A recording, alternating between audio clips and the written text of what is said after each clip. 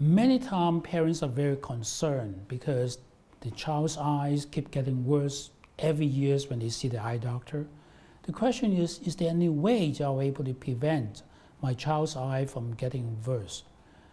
Understanding the cause of nearsightedness will help us to discover what is the best way for us to prevent our children's vision from getting worse. For a long, long time, we have been focusing on the fact that correcting a person's vision to 2020 is our goal. And we believe that by correcting their visions, their vision will be stabilized. Unfortunately, we are wrong. In fact, latest study discovered that our visual system is composed of two areas. The two areas is the central vision and then also the peripheral vision. Central vision, as you all you know, um, is talking about 20/20 uh, vision, is talking about sharp, clear vision. The central vision and the peripheral vision complement each other, work together to enrich or stabilize the, vis the visual function. The fovea, that's the center part of the eye, is responsible for our central vision. Peripheral vision, on the other hand, is responsible for motion, for shape, for form. They're connected to different pathway, and also interesting is they're ended at different parts of our brain. While the central vision help us to see our image clearly, so-called quote-unquote 20/20 vision, our peripheral vision give us very important information about space and help us to react to our surroundings. When we are moving, peripheral vision is in place, is helping us to see how's the ball uh, coming towards us, how's the surrounding, how should we respond to it. When the peripheral retina is stimulated, there's a certain chemical called dopamine will be released from the peripheral retina, which help us to stabilize the growth of the whole eyeball. However, when our central vision is overly used, such as reading at your phone all day long, reading at your book all day long, the peripheral vision is underutilized or even ignored, such as sitting down and not moving. Your peripheral vision is hardly stimulated. Because of that, dopamine will not be released in our retina. As a result, the eyeball will continue to grow larger, longer.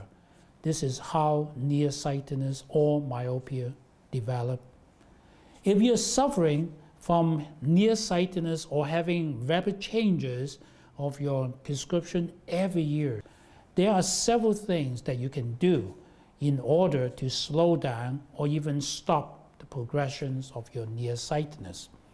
Number one, we have to keep a very good working distance. Imagine if you hold a book right here, real close, you're blocking everything to your periphery. If you hold your book at this distance, you open up your, op your peripheral space so you're able to stimulate the peripheral vision. The more that you stimulate the central vision and deprive your peripheral vision, the faster your prescription change. Secondly, we also need to sit at least a good 28 inches from your computer screen. Hold your reading material about 16 inches away so that you are not going to block your peripheral vision, just like what we mentioned earlier. You can also um, do not sit just while you're reading or working, do not just sit there and do your work two hours, three hours. After 20 minutes or so, stand up, do some stretch, walk around. Doing this, you're able to stimulate your peripheral vision. Remember just now I said the only way that you can stimulate your peripheral vision is by moving. So slow down.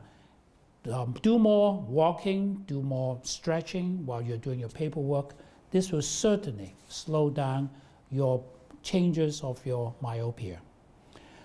Also, balancing your life with physical activity. Activities such as basketball, hockey, soccer, cycling, they provide very good stimulation of our peripheral retina. Will also help you or help your children to slow down on the changes on their eyesight. Consider using other means of correction instead of glasses. the younger a person is, the more their eye will be affected by wearing glasses.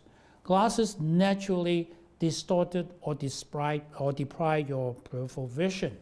So if you're able to consider other options such as uh, corneal refractive procedure like CRT, or you can use some what we call the multifocal uh, contact lenses to stabilize your myopia. And also there's certain uh, exercise you're able to do, vision therapy will also help you with the progression of your nearsightedness. Give me a call and see whether we're able to help your children uh, to slow down their changes.